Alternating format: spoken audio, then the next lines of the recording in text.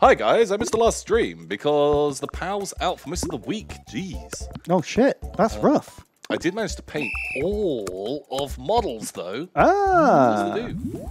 How did you paint with the power out? Was it like candlelight? Oh, or just you know, maybe he sleeps at night and is awake in the day. Tom. Oh shit. like a crazy person. yeah, okay, right. You're a regular human being with a realistic sleep schedule. Yeah, uh. fuck.